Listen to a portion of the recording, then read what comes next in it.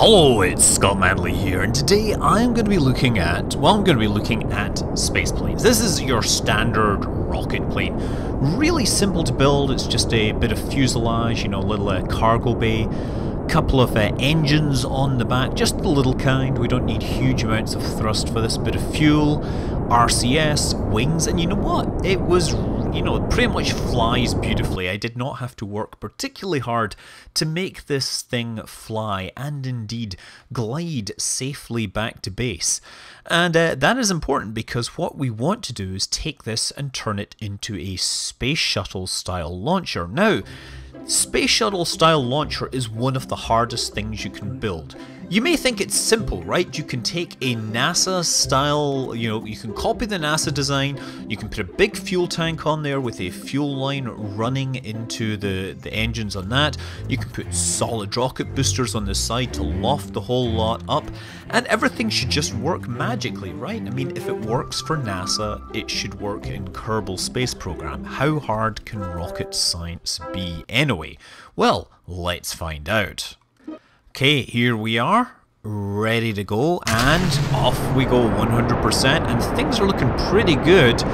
Unfortunately, we are starting to pitch down despite my best attempts to pitch up. You see, what's happening is we have asymmetric thrust, and with asymmetric thrust comes rotation, and uh, I'm going to crash unless I ditch this whole thing. But it's actually pretty good because I did manage to escape from this without destroying it and uh, yeah, bring it back to a nice landing.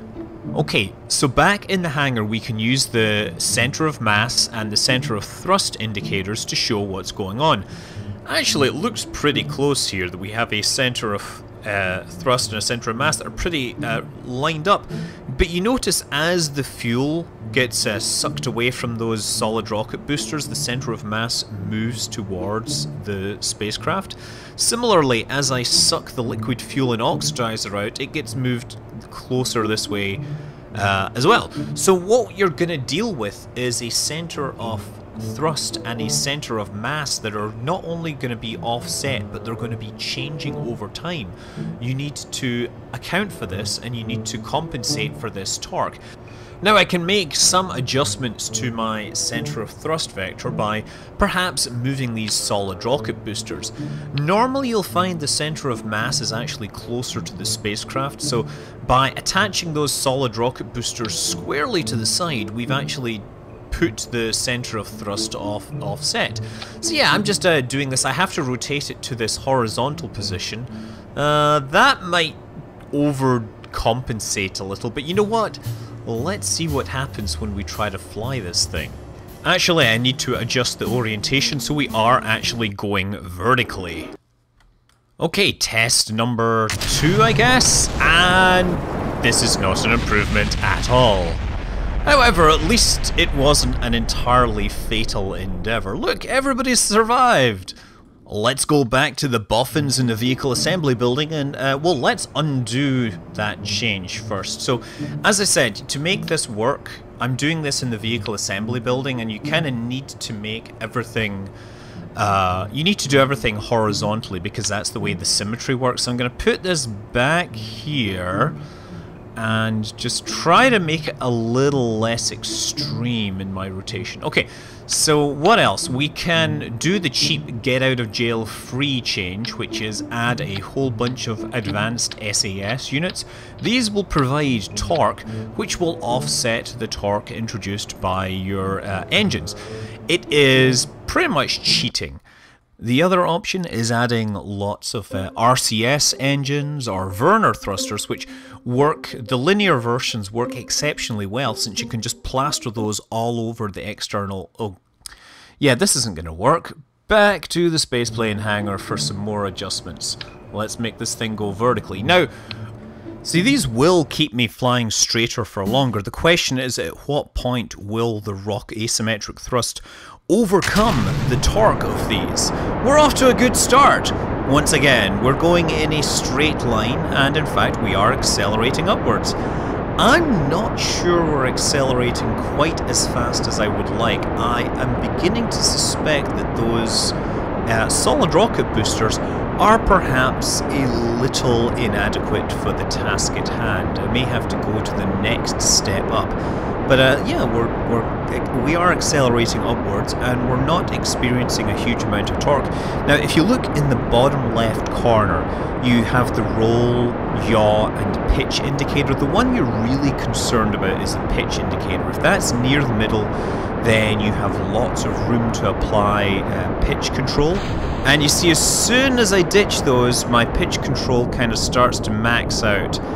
And yeah, this thing is not working. I can try to roll around this center of gravity to stop it, but yeah, this is not going to work. It's time for me to ditch this party and yeah, bye bye fuel tank. Sorry if I'm dropping you on people on the ground.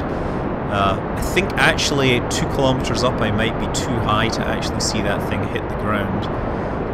It is always fun. I just gotta get control of this aircraft first. I think we have control. Let's see, is that gonna hit? Oh, come on! I saw the shadow of that thing land about to land on the runway and evaporated. Well, nevertheless, I can of course bring this into a safe and controlled landing, which is always a good sign. Bill and Bob are certainly getting lots of testing done on the, the abort procedures. Look, Brilliant! Moving swiftly on, we have identified a number of shortcomings. So what we really want to do here is we've got to fix the center of thrust, center of mass issue. We're going to need bigger solid rocket boosters, so we should really consider getting rid of those.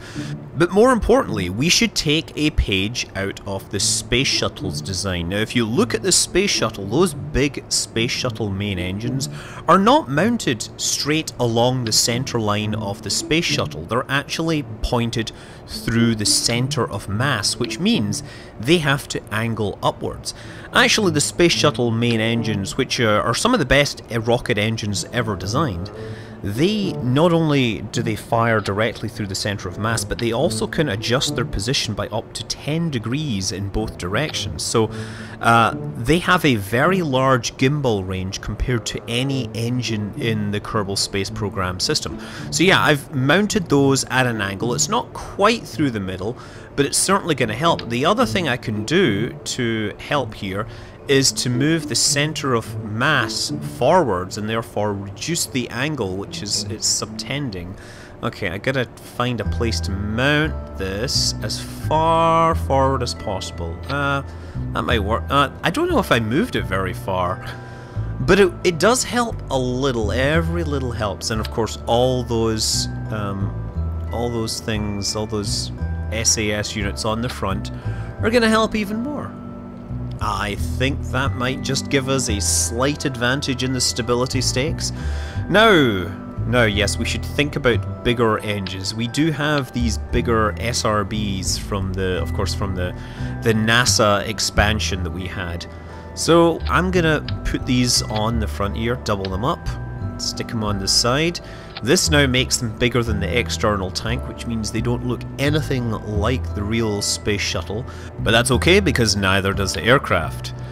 Also, I think we're going to need more solar cells because I'm realizing that those uh, SAS units are going to be taking a lot of power, so we should put a bunch of solar cells on. It doesn't matter how many of those we put on because they do not actually generate any drag or any physics if you use the single panel models. Important trick to know there. Although if you are using Ferram Aerospace, it's entirely possible that these parts are in fact getting physics applied to them, so uh, I'm not using Ferram Aerospace in this case, but we can think about it later.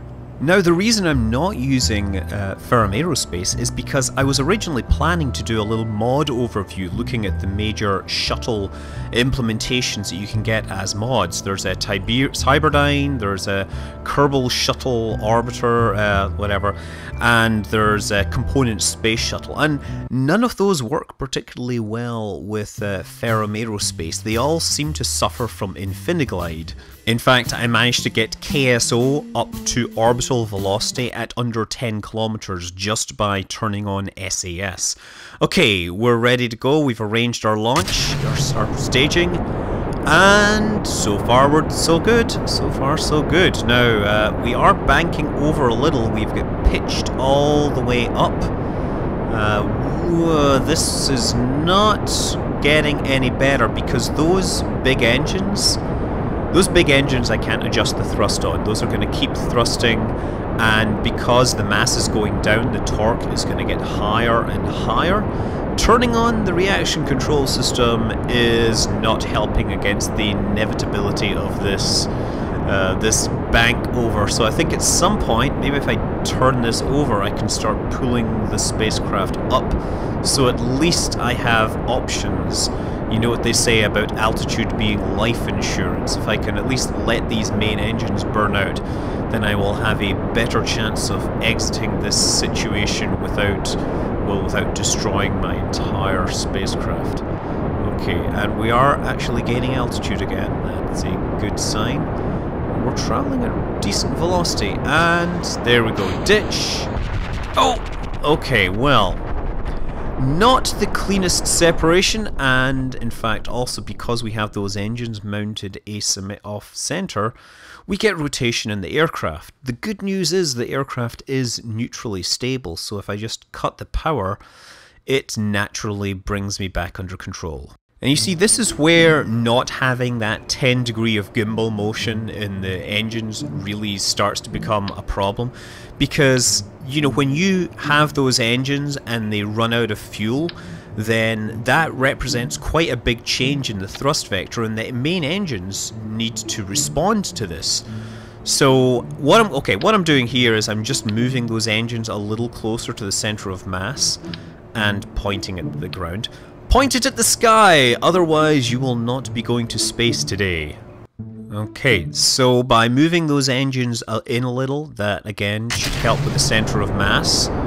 And that's looking not any better at all. In fact, this is getting worse. I need to get out of here very quickly.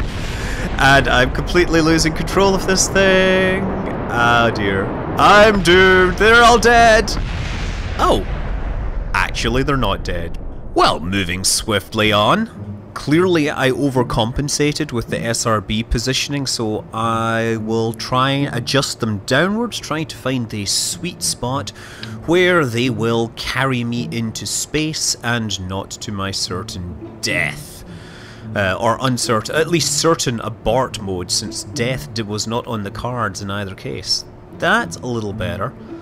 Again, oh, just try to rotate. What I'm trying to do is find the correct rotation. There we go. Rotated them about 5 degrees. That lifts them a little above the center line of the tank and should help a little. Okay, I think we're set there. And the other thing I'm realizing is that because of the position of the sun, we may not have we may not have power to these uh, all of these solar panels, we may not have light on them. Let's put some there. I'm just going to splatter a bunch of these around the external tanks that we can make sure that the these uh, SAS units are always getting the power that they so desperately crave in their vain attempt to keep this rocket straight. As I said, using these really is quite a shortcut, but uh, I want to make this happen in a single video. And clean away. We are stable, we're not rotating. Our pitch indicator is actually showing a small amount of pitch correction needed, but the reaction control, or the reaction wheels are in fact keeping this thing under control. Sweet. So we are ascending gracefully into the heavens. Bill and Jebediah are starting to feel hopeful that this crazy plan might just work. And what you should really be getting from this was that the space shuttle concept of a spaceplane slapped on the side of a rocket was a crazy plan. And while it did work, it did require a huge amount of engineering problems to be solved. And uh, you see that I haven't quite solved them because I don't think I'm burning enough fuel in those engines. I'm still accelerating too slowly. And soon, as soon as these rockets burn out, I'm going to be uh, falling back to the planet Kerbin, I suspect. But yeah, the space shuttle seem is really a poor idea in many, many ways. And there we go. We are still moving upwards. We're still trying desperately to beat out gravity. Gravity, I won't let you beat me, no. Uh, unfortunately, I have two of these tiny little landing engines trying to lift a whole orange tank worth of fuel against the inevitability that is gravity. Yes, uh, gravity, it's the law. Well, uh, good news is at least we should be able to test another abort mode. The bad news is that if we want to put bigger engines on this space plane, then it will probably shift the center of mass and make it fly terribly again. So I'm going to have to come up with another solution. Anyway, uh, time to say goodbye to this dead weight. Oh, yes, I should have probably cut my engines before I did that. Okay, let's see if we can bring this thing back under control before we plummet into the ground. Ha! Brilliant! This is this is a really nice. This plane flies so well. It's just a shame we're trying to hook it on the back of this giant rocket, which makes it fly terribly. We even managed to fly it in a complete, you know, controlled descent and uh, return it to the runway. Anyway, yes, so because we can't really adjust this space plane much, we have to take what I would like to call the Energia or the Buran approach. We're going to stick a rocket on the bottom here. Now, mainsail would be an obvious choice, but I think I'm going to go smaller. I'm going to go with, if I can find it, where is, where is... I have, I have the skipper. Where's the skipper? It's, it's there. It's right there. God, hiding from me. There we go. Now, the skipper will help balance things out. But I don't think we need it early on, so I've set it up so that it will only fire once we've ditched the main solid rocket boosters. Because I, otherwise I would have to adjust the position of the SRBs. And... And we take off! Excellent! We are taking off using the solid rocket boosters for lifting most of the mass, and we have then a uh, this little rocket on the side providing some stability control. Now, a stock Kerbal Space Program install will also include the Learstar, which is very similar to this in design. It uses uh, radial engines for which are offset to provide the thrust, and those have had their thrust limiter set appropriately. Thrust limiting is going to be a very important part of this ascent because it lets us tune the amount of torque we're seeing. But so far, we're just ascending beautifully, rather beautifully I'd like to say, on these giant solid rocket boosters. Of course, firing the solid rocket boosters early on is good because they have lower specific impulse and you get better efficiency on your rockets if you fire off the low specific impulse fuel first and then leave the higher specific impulse stuff for the later parts of the journey. And there we go and we managed to separate those things without destroying the spacecraft and get this engine firing. Now, how are we doing? We are feeling a bit of... I'm having to push the nose down in this. This is not a typical shuttle style ascent because normally the shuttle would be ascending upside down with the fuel tank above it. I'm not even going to try rolling this because I think that having the having everything off-center like that will probably lead to some sort of un undesired motion, let's say. So yeah, I've throttled back that main engine just to make sure that everything is stable, and I'm going to keep throttling that to make sure that I get all the way into orbit. The danger is that I might have to throttle too far back on it, and I won't have the necessary thrust to get into orbit. So I've got to balance these two features and hopefully I will continue to pick up speed and uh, eventually put this glorious piece of technology, this uh, giant Rube Goldberg style machine into orbit. There's a story I read that uh, this Russian, the Soviet shuttle, only came about because while the rocket scientists at this space agency thought it was a ridiculous idea and couldn't understand why the Americans were doing this crazy you know, space shuttle design. Uh, the people, obviously, uh, in the government were like, "We need to have this. We need to see why they're doing this. You need to test it." So they went and you know built it and flew it once, and then never flew it again. But hey, they did develop their Energia rocket and the engines, and of course, it wasn't completely without technology, but yeah, ultimately, the space shuttle was one of the most expensive spacecraft ever to fly. In fact, I've like to point out that based on back of an envelope calculations, if you fueled the Falcon rocket with the dollar bills, it would still be cheaper than flying the space shuttle. It was a magnificent vehicle capable of doing things that no other spacecraft could do and will be able to do for a long time. But it turns out that it wasn't what was actually needed, except for building the space station. It was essential to building the space station, although I would say they would probably have come up with other solutions if they were necessary. So it looks like I am going to in fact make it into space. My ascent trajectory is a little shallow, but all the same, you have, one thing to be careful of is that your thrust vector is not going to be along your facing vector because you have one of these sets of engines firing downwards. And as we switch into time accelerated mode, you can see that I have indeed successfully built a spacecraft which launches rather like that crazy contraption that is the space shuttle. Obviously, it's still a long way from a real space shuttle because it carries this extra engine on the external tank. Uh, the space shuttle carried its, you know, recovered all the engines so they could be reused. In this case, we're going to ditch it on the surface and uh, yeah, it'll be unfortunate that we'll lose it, but it does take a lot of effort to design a spacecraft which will work, and I just tried to do this live, more or less live. If you want to get rid of that external engine, then you need to have bigger engines on that space plane, possibly a third engine at a different angle so you can adjust the engine groupings and adjust the relative thrust to make sure the torque remains under control. But that would require redesigning and rebalancing the space plane, and we all know how much trouble that can be. Anyway, with the engine returning to the surface, it's time for me to say, I'm Scott Manley. Fly safe.